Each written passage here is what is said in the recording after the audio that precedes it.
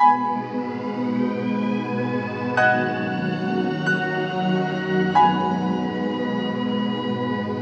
you.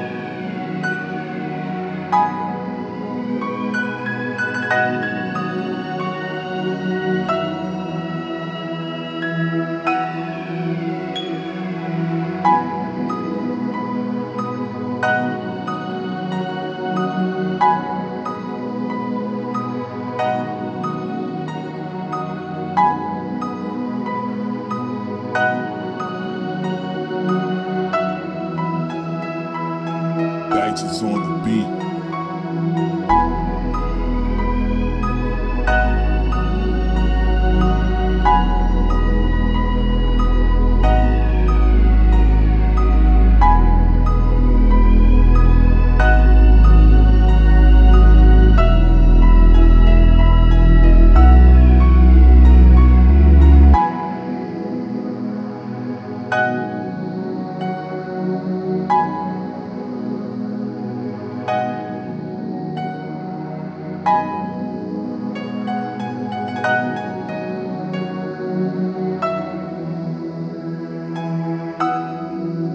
Sanchez on the beat.